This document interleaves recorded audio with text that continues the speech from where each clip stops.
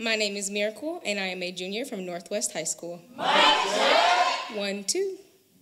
This piece is called When She Was Five Years Old. A girl is far more responsible for rape than a boy. A girl causes this pain on herself. She was the one who sat at the bar with her tiny yellow dress and sipped a beer that was bigger than her stomach. It wasn't a bar, though, was it? The bar was my kitchen island, and beer was apple juice, and I didn't ask for it. She asked for it. She told me no, but I meant no. I meant no. My yellow dress was a sign of my youth and innocence. Now it's ruined by the hands of you. I can never wear it again because it brings back memories of when. Remember when my hands were on your waist, suddenly asking if you wanted to dance? Your eyes were telling me yes. My eyes were closed. They were not telling you anything.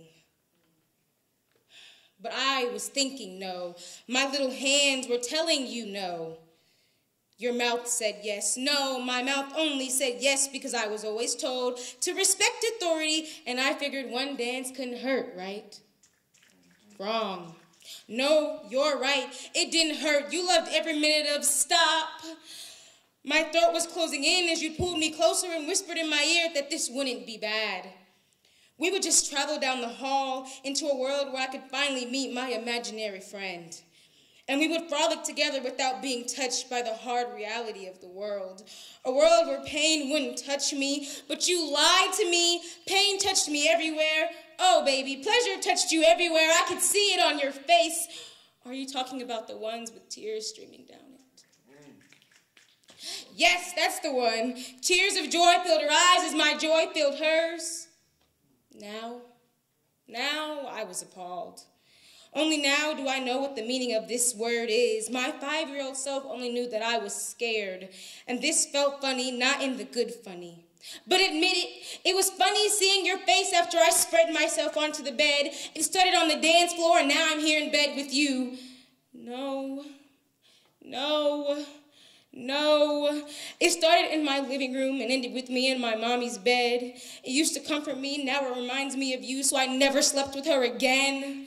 And when I woke up the next morning, I had blood running down my legs. I was so scared. How was I supposed to tell mommy her little girl had grew up so fast?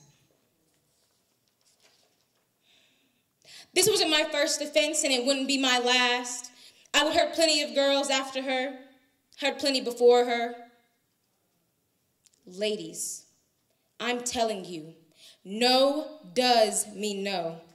It's always more important to respect yourself than to respect authority. She was five. Now she's 22.